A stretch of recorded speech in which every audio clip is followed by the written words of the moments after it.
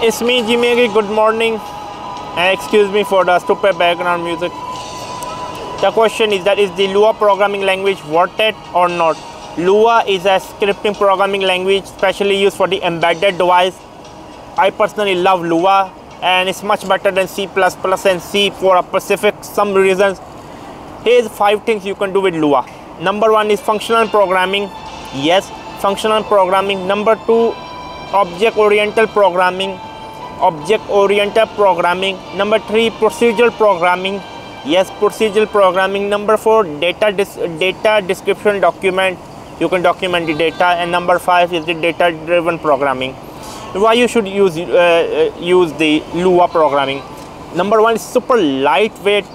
It takes tiny amount of size space storage space on a microcontroller where when you write the same thing in a C++, a C sharp or any other scripting language, some of the modern language such as Python, it take a huge amount compared to Lua. Lua take only few kilobyte.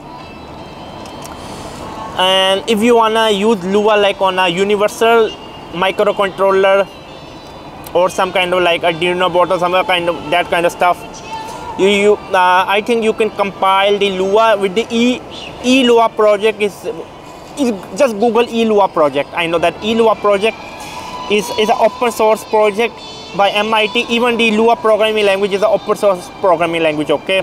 Mostly it's a scripted language. For example, you want to build a robot, you want to build some kind of smart oven, smart toaster.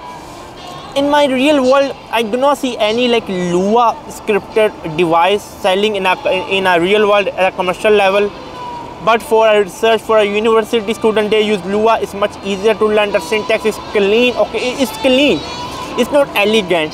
Clean and elegant are different thing. Python is elegant and clean at the same time. Lua is clean not elegant. So yeah i mean for example if if you're just into like programming a microcontroller or some kind of electronic project whatever or some i don't i don't know what you want to make. Lua is super lightweight. Number one super lightweight number two it's run very fast and quite powerful to be honest with you for what it is. Yeah that that that's i can say. I mean personally i love lua. Again simple powerful lightweight. You can do a lot of stuff. Personally i love the functional program the functional and procedural programming with the lua. Uh, I, am quite uh, astonished with the lua to be honest with you. It's a quite nice to be honest with you that's all I wanna say. I mean, with the Lua programming language. I mean, especially for if you are a student, if you are if you are like programming for a microcontroller, you can just use Lua. That will be my opinion. Subscribe and bye.